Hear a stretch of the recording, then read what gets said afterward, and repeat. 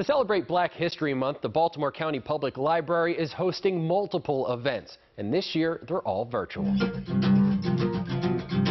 Follow the drinking.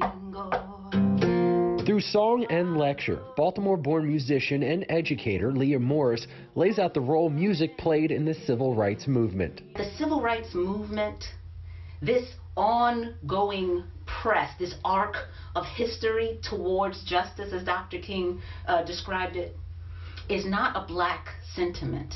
This is just one of the many Black History Month programs being offered by the Baltimore County Public Library. Black History Month is uh, first and foremost it's it's American history, right?